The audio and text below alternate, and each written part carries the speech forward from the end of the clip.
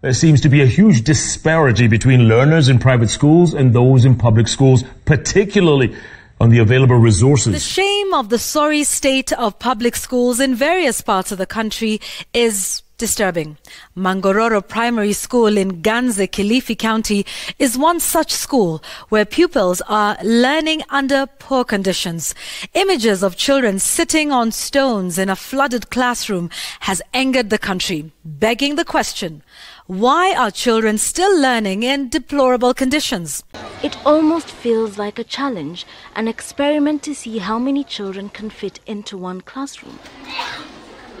They're crammed into every corner, every nook, each desk occupied by three or four pupils. Comfort isn't a consideration here. Welcome to Hillcrest International Schools. Our trio of schools is situated on one site in the heart of Karen. Modern, well-equipped buildings are surrounded by extensive playing fields and a large play area. The close proximity of the schools to each other adds to the family feeling, and our students move with ease between schools.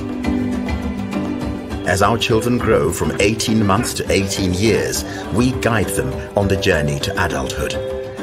40 minutes away from Eastleigh High School is the International School of Kenya. It's one of the country's most expensive private schools, offering a North American curriculum, including an international baccalaureate program. The cost? Nearly $30,000 a year, a price the school's director says is comparable to other international schools.